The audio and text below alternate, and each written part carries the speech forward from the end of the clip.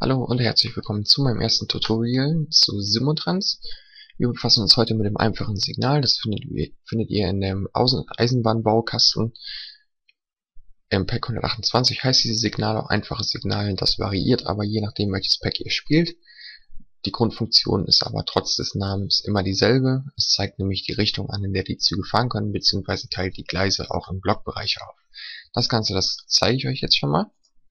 Ich habe schon ein bisschen was vorbereitet. Bahnhöfe, Depot, Gleis ist alles vorhanden. Das sind die Grundlagen, die sollte eigentlich jeder kennen. Bei Simotrans ähm, 112 ist jetzt wichtig, dass das Bahndepotfenster ein wenig anders aussieht als an der 111er. Ähm, die Grundfunktionen sind immer noch dieselben. Ähm, ja, dort oben könnt ihr die Linie eingeben. Linie zuweisen braucht ihr hier nicht mehr. Das war im alten noch, im alten Depotfenster noch so. Einfach starten und unser Zug rast los. Auf B könnt ihr jetzt den Reservierungsbereich dieses Zuges sehen. Der rote Bereich ist immer der Bereich, den der Zug abfahren wird, den er für sich reserviert hat, auf dem kein anderer Zug sich bewegen wird. Zum Gleisbau, ganz einfach. Einmal klicken, ihr baut zwei Signale, eins für jede Fahrtrichtung. Heißt, ähm, dass wenn von oben ein Zug kommt, der wird dieses Gleis passieren, von unten genauso. Im Signalbau bei Simotrans ähm, ist ganz einfach gesagt immer das rechte Signal das wegweisende Signal. Heißt, wenn ich jetzt nochmal klicke, habe ich jetzt hier unten das Signal. Heißt, wenn die Züge jetzt von dort kommen, werden sie ins Depot reinfahren, aber es wird kein Zug mehr aus dem Depot herausfahren. Nochmal klicken, das Signal wird sich nach oben versetzen, rechte Fahrseite. Jetzt ist es umgekehrt, die Züge aus dem Depot werden rausfahren, aber es wird kein Zug mehr reinfahren. Wollen wir hier erstmal nicht. Wir wollen jetzt die Blocksignale betrachten. Ihr seht jetzt hier auf B dass dieser Zug immer die komplette Strecke von seinem Bahnhof bis zum nächsten Bahnhof abfahren wird. Und das Ganze können wir jetzt im Blockbereich einteilen, indem wir die Signale bauen. Ein Signal, zwei Signal. Einfach um es zu verdeutlichen. Der Zug, der wird jetzt unten gewendet werden und wird sich dann in den Bereich bis zum ersten Signal für sich reservieren.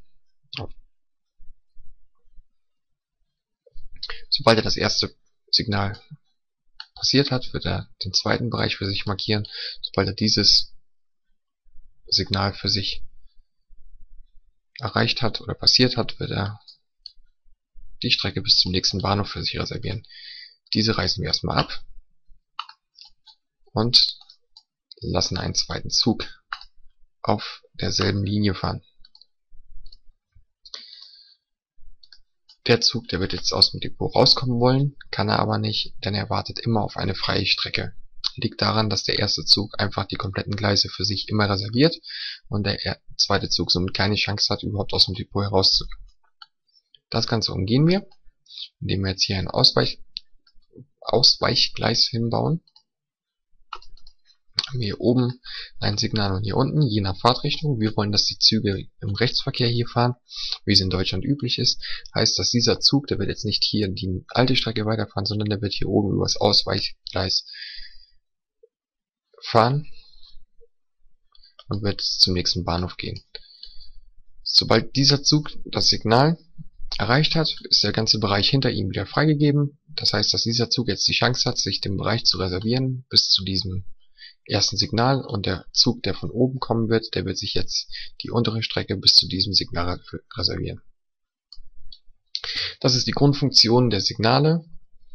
Das heißt, ihr könnt mit diesen Signalen könnt ihr Blockbereiche machen und ihr könnt auf jedem Gleis immer so viele Züge einsetzen, wie ihr auch Blockbereiche habt.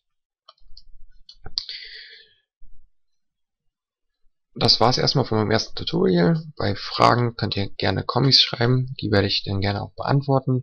Wenn euch das Tutorial nicht ausführlich genug sein sollte, dann werde ich die Ausführlichkeit mit meinem Let's Play noch mal ein wenig erweitern. Ganz einfach, ähm, dieses ähm, Tutorial hier habe ich gemacht, weil ich ein Let's Play starte und da ja nicht alle Simotrans-Spieler von, oder gerade die Anfänger von Anfang an ähm, die Signale verstehen, habe ich jetzt erstmal das einfache Signal verwendet, um hier ein Tutorial zu erstellen, damit ihr schon mal in der Grundfunktion überhaupt wisst, was ich im Let's Play mache. Ähm, nach und nach, je nachdem, wie ihr eure Fragen stellt und was für Comics ihr gebt, werde ich dann nach und nach auch noch zu meinem Let's Play ergänzend Tutorials erstellen, in dem ich dann eure Fragen beantworten kann oder werde. Ähm, liegt einfach daran, ich selber, ich bin auch noch nicht so lange bei Simotrans dabei, ähm, werde aber ähm, ja, das Ganze hier ein bisschen weiter verfolgen. Ähm, das soll ein interaktives Let's Play werden, in dem ihr alle gerne eure Vorschläge mit einfließen lassen könnt, die ich auch ähm, vorhabe zu berücksichtigen. Ich möchte so wenig mein Gehirn dabei ausstellen so dass ihr sozusagen eine virtuelle YouTube Simutrans Welt für euch erstellen könnt oder eine gemischte. Jeder kann seine Vorschläge abgeben. Ich werde diese dann versuchen, möglichst umzusetzen, sofern es sinnvolle Umstände, ähm, Vorschläge sind. Ähm, ich werde ähm, mein erstes Let's Play ähm, veröffentlichen. Dort werde ich euch die Map einmal vorstellen und werde eine erste Linie machen, die für den Profit zuständig ist, damit ich von Anfang an ein, eine Linie habe, die zumindest Plus macht. Damit wir nicht gleich nach zwei Spielen das Let's Play aus Bankrott beenden müssen. Und dann kann es auch schon losgehen. In dem ersten Let's Play werde ich nämlich auch die Karte vorstellen, so dass ihr schon mal einen Überblick über die Karte habt und dann werden wir nach und nach die Karte zu Ende spielen. So, das war's dann von meinem Tutorial. Signale sollten jetzt, oder die einfachen Signale sollten jetzt eben klar sein. Alles weitere habe ich euch schon gesagt und dann sage ich mal reingehauen. Bis zum nächsten Mal.